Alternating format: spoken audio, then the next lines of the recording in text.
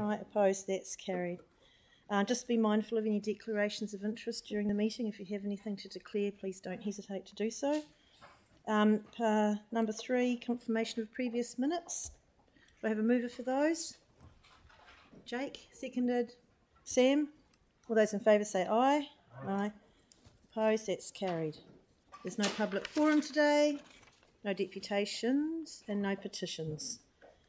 Um, welcome, Lianne and Andrew. Sorry, we kicked away.